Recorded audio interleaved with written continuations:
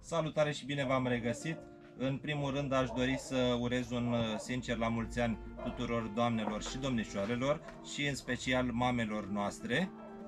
Și astăzi suntem la Răsaduri, aș vrea să vă prezint un tratament uh, cupric pe care o să-l aplicăm și noi astăzi nu voi aplica pentru că am udat uh, răsadurile, așa ar trebui să procedați și dumneavoastră înainte de aplicarea tratamentului, înainte cu o zi, udați răsadurile, iar a doua zi puteți aplica tratamentul. La noi zilele astea a dat puțină zăpadă, a nins și după cum vedeți și acum este înnorat, nu, nu este soare.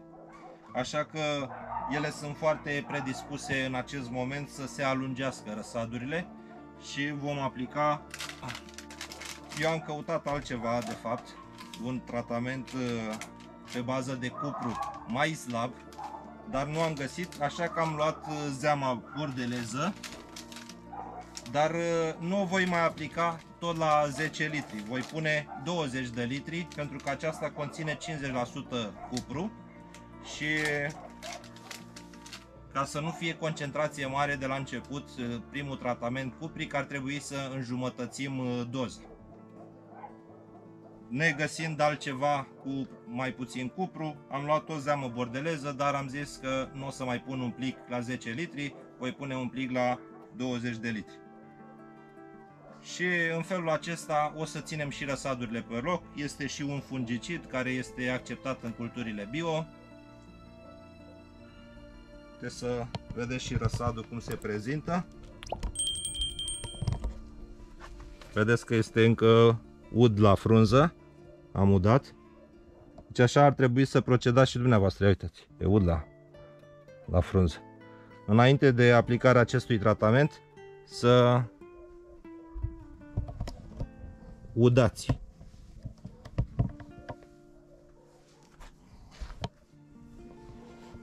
Foarte important să nu puneți de, de, la primul tratament să aplicați zeamă bordeleză exact uh, așa cum este ea specificată, un plic la 10 litri. Pentru că v-am zis, uh, conține foarte mult uh, cupru, ba chiar puteți arde plantele. Ea este recomandată pentru 10 litri, dar pentru plante mari, nu pentru răsad. Bine, vom aplica și la răsad, dar v-am zis, primul tratament nu ar trebui în această concentrație. Astea sunt răsadurile de pe patul pe cuptor.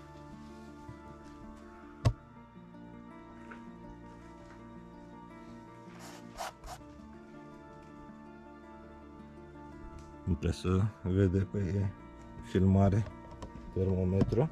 Și acestea s-au îngroșat foarte mult. Da, sau nu sunt pe cuptor, sunt în afara cuptorului. S-au îngroșat și acestea. Sunt frumoase, da.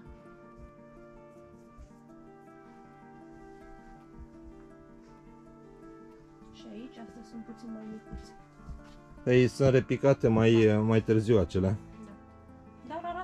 și acestea. Da. Deci arată destul de bine. Ei vine, vine căldură de la cuptor, cuptor da, fiind da. aici.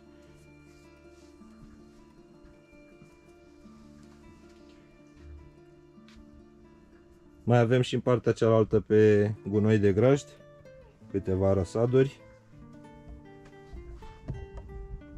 Astea cred că sunt... Ah, nu, de fapt sunt repicate în aceeași perioadă cu acelea cu de acolo. Acestea, da și acestea. Da.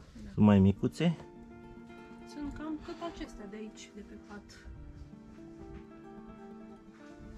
Acum o să urmeze să plantăm și castraveții. castraveții să îi plantăm. Să-i semănăm. Să-i semănăm. Vom pune tot uh, castraveți cod, pentru că sunt foarte buni, fac numai flori femeiești, care și produc castraveți, deci nu au flori femei și bărbătești. Care... Au numai flori femei și fac toate florile puișori, cum ar veni. castraveți. Da. E un soi foarte bun. Dar noi a venit frigul că noi ne pregăteam de plantat. Da. O perioadă va fi acum puțin mai friguț. Pe margini Uite, s-a mai să- afumat un pic și agrilul. S-a afumat, dar asta este. Îți spălăm. Oricum, uh, Terminăm cu- partea de sus nu este deloc uh, afumată. Nu este.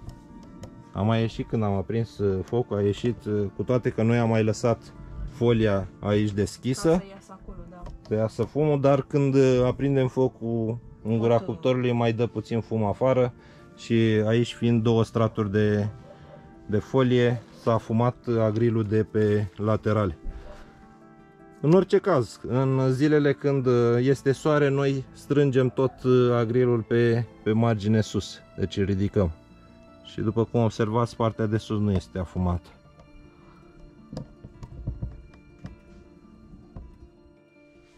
Aici avem și răsanița pe gunoi de grajd. Ia uitați folia ce aburită este. Mai avem ceva răsaduri aici. Nu voi mai deschide la ele pentru că ele nu au chiar așa o căldură mare, abia acum am început mai bine să se încălzească gunoiul de grajd. Dar mai avem și aici ceva răsaduri. Uitați și salată creață. Ce frumoasă este. Aceasta creață.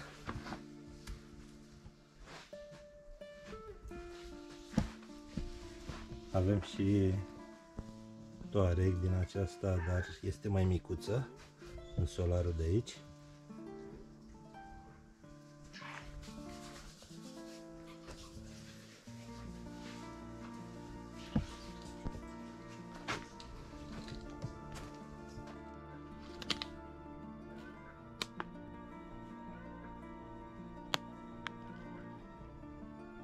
Cam aceasta ar fi recomandarea noastră în această perioadă când este mai înnorat să aplicați tratamente cuprice pe bază de cupru pentru că răsadul este foarte predispus să se alungească.